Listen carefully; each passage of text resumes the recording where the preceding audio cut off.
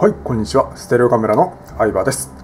今回ご覧いただいてますレンズは、ライカの大変人気の定番標準レンズですね。ズミクロンの 50mm 固定強度の前期型ということになります。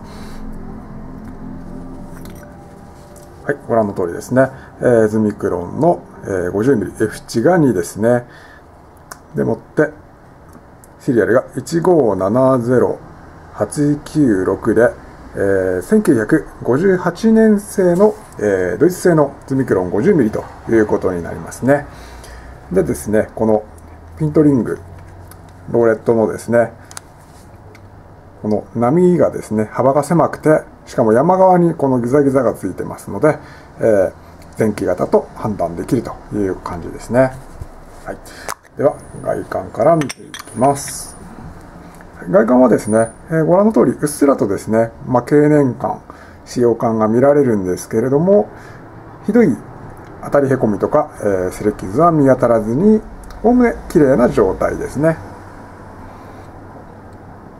はい、ご覧のような感じです。綺麗ですね。はい。えー、この前、フロントにもですね、落として、えー、歪んだりとかですね、こうガタができたりとかしないで、非常に綺麗な状態です。レンズもですね、前玉、後ろ玉ともに吹きすれ、吹き傷、引っかき傷、コーティングの剥離などは見られずに大変綺麗ですね。ビデオでもご覧いただけると思うんですけど、ブルーのコーティングが綺麗に輝いてますね。コーティングの状態も非常に綺麗です。中玉にももちろん曇りカビは一切見当たらないですね。細かい塵がちょっと見られる程度ですね。もちろん映像には影響ない感じです。はい、絞り膜も軽快に動作しておりまして、はい、油ののりや羽の痛みは見られないですね。はい。